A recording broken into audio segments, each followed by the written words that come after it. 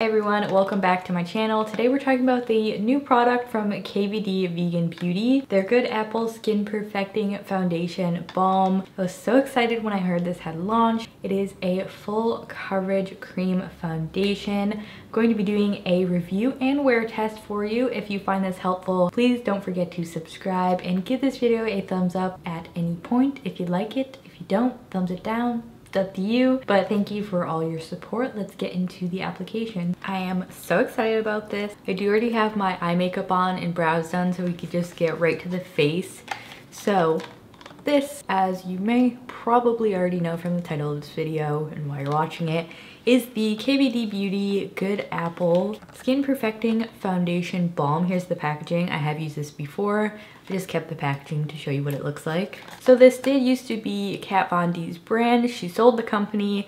Now it's just called KVD Vegan Beauty. They recently have done some rebranding. Everything is vegan and cruelty free that they sell and this is their new product. So it comes in this cool clear case with like a little bit of what would you call that pattern? I don't know. Um, just a clear case, has the shade on the back, super simple. I do like the packaging. It's thin, like travel friendly. Uh, I am wondering if this would break easily though. I feel like with a lot of these plastic compacts, if you drop it, that could break pretty easily, but it just opens up to show the product. So let's read a little bit about this or I'll break my phone. This is $38 and it's 0.35 ounces. So it's not quite as much as say a full-size liquid foundation. Tons of shades, although on Sephora, the majority of the shades are sold out. You can sign up on Sephora to get notified when it's back in stock if you're interested in this. I picked mine up definitely at the right time because it's just crazy how fast they sold out. I'm not totally sure if this is on Ulta as well. I'll check and put a link below if I can find it. But this is described as a buildable, full coverage, hydrating foundation balm with a lightweight, long wear formula and a fresh matte finish and fully recyclable packaging. Oh, that's cool. I did not realize this was fully recycle recyclable. So it's just like the palette they have as well. Some of the key ingredients are apple extract, hence the name, and sodium hyaluronate. I got the shade Light 08, which is described as a shade for fair skin with warm olive undertones. When I saw that they have a light olive shade, I got really excited. There's a shade on my hand there it's not too yellow. I feel like it's really balanced. I try to match my foundation usually to like my self tan. My face is like very red, but my skin tone naturally isn't very pink. When I find that I wear like a cool tone foundation, I feel like it just looks so weird on me. So I usually stick to neutral, warmer shades. And this one I've been wearing the past couple days. I just love the shade. It works with my natural skin tone. And when I have a tan on, I'm just really impressed with this shade and I'm just so excited to test this out for you. First off, the texture is, it's not like a typical cream texture where it's thick. It's extremely creamy, but it's thin and almost like, like it dries to like a, not powdery, but it's like clearly a more matte formula. I was so excited when I heard about the launch of this foundation. I love full coverage. I feel like it gets washed out on camera, but I do have like a lot of discoloration on my cheeks. Then of course on my chin we have a lot of active acne, that's where all my acne scars are. So I like a full coverage foundation because I can use a thin amount instead of layering up a light coverage foundation or using a lot of concealer. It's just my preference and I also love a matte finish so this just called my name. It's a lot different than a lot of cream foundations out there that are more dewy or like the clean beauty ones that are just, you know, if they don't last well. They might look good for a couple hours but they're just usually not for me. So let's get into applying this. I'll stop talking and get into it. So I'll show you two ways to apply it. First using the Rare Beauty, this is just their foundation brush which is like pretty dense and tapered I also have my Haley's Beauty Sponge. So I'm gonna start on this side of my face with the brush. Now the first time I used this, I got so much on my brush and this is like, it's crazy full coverage. You'll just see. I'm literally tapping in twice, which is too much. Like that is too much. Look at this. So since that was literally too much, I'm just getting the excess off on the back of my hand. So as you can see, like it literally just covered all of my redness with one swipe of the product. Like, isn't that crazy? I was so shook when I first tried this. So this spreads absolutely beautifully on my skin. You could already tell from this side of my face how much it covered. It just drags onto the skin beautifully. It does not cling to texture. It is just such an amazing formula. We're not even done with this review yet, but I love it. We'll just start with that. This isn't a first impression because I don't feel like they're as like valuable to you as a viewer. Instead, I like to try the foundations and get an actual like fully developed opinion and I can't stop wearing this. I mean, with this kind of coverage, using such a small amount of product, I don't think you can get better than this. We'll be doing a wear test as well. Just grabbing a tiny, tiny bit more product to finish off my forehead. If you have anything to cover, like if you have rosacea, you have acne scarring like me or anything like that, I feel like you would absolutely love this because you don't have to put on a lot of product to get full coverage. You can kind of see my darker acne popping through down here, but it takes it down so much. I really don't mind having like a little bit of scarring showing through. You could go in, I've actually been doing this recently with my finger and I just tap it over the blemishes and use it sort of as a concealer if I want to hide those even more. So here's one side of my face with the product on. As you saw, I used one swipe basically for this whole area and then I did a little bit more for my forehead and I used the brush on this side. It actually like, although it says it's a matte finish, it's I feel like it's a really beautiful satin because you can still see this on my cheek. Like I had moisturizer on before, but not too much. I feel like it just really lets your skin, your skin's like natural glow show through, but it doesn't add anything. And I feel like that's what makes it so not cakey either. It's just not adding a lot of oil or weight or anything to your face. So let's do it on the other side using my sponge. So what I've been doing is just taking the side of my sponge and tapping into the product and then dabbing it on my cheek cheek. I honestly really enjoy both ways of application. The sponge is gonna sheer it out a tad more depending on how much product you use.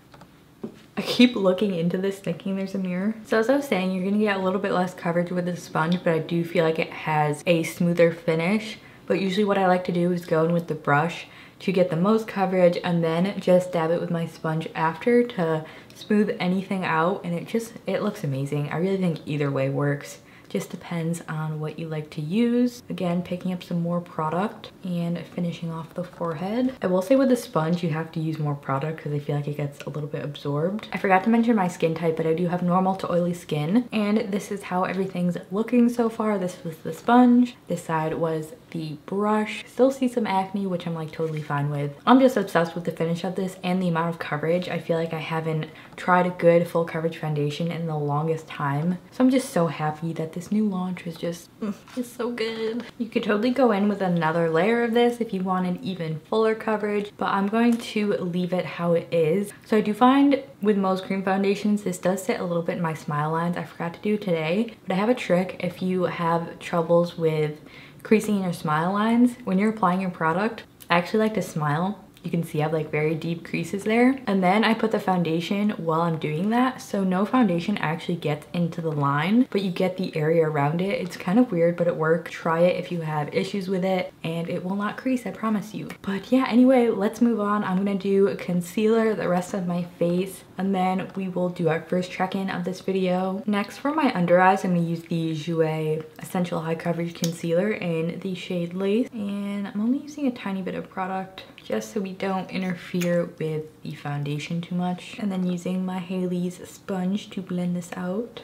To set my under eyes and my face, I'm using the LYS Beauty Translucent Powder. This is actually a KVD brush. They make really awesome brushes. I actually want to try their foundation brush they have. It looks um kind of similar to this one. The only con you might run into with this foundation formula is I noticed right on my nose, just where I have a tiny bit of dryness right now, it is just like catching onto the dryness which i don't know i've never found a foundation that like makes dry skin look good. It just always looks like dry skin. I feel like it's creamy and it does well with it but you can still notice that it's there. So if you do have dry skin make sure you're exfoliated and moisturized or else it might look just a little bit weird if you have some dry patches like I do on my nose at the moment. I really don't feel like you need to set this foundation down if you wanted more of this type of like satiny finish, but I like to set my foundations because they do get pretty oily. So I'm gonna go in with the same powder. I'm just using a big fluffy brush This is a winning combo right here. I feel like it's super weird that I love this foundation because I've never in my life tried a cream foundation that I loved enough to use every day as an everyday foundation. So I wasn't really expecting it from this, but I don't know. They did something different with this cream formula. It's truly amazing. I'm like already raving so much about it.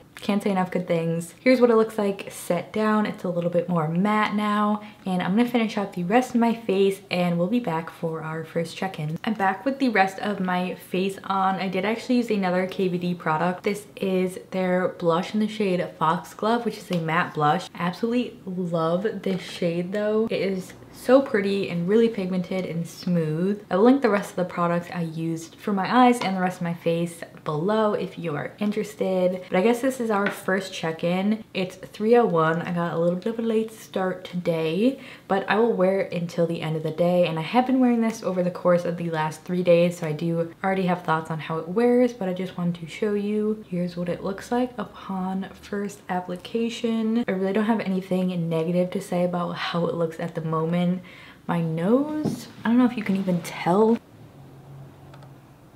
like looks a little bit textural, but everything else is looking good. So I will check in later tonight on how this foundation is wearing and I'll see you then. So it's now 10.42. I'm back for my final check-in with the KVD Vegan Beauty Foundation. Here's what we're looking like. So it is pretty oily around my nose especially, which is where I get my most oil with any foundation. So around there, it is breaking up a little bit and my forehead has some shine to it and a little bit did wear off on my chin. I was eating a sandwich and it got rubbed off. Also, I was testing the new e.l.f. Lash Out Loud mascara and as you can see, it smudged on my bottom lash line, which sucked because I feel like the effect was pretty. So anyway, other than the oiliness, I feel like it stays really airbrushed looking and it also does not wear off. I have worn this with a mask in the previous days that I tested it and like it didn't really wear off on my nose weirdly. Like it just, it holds up really well, which I feel like is very unusual for like a cream foundation that's full coverage that is a little bit more like satiny to be so long wearing,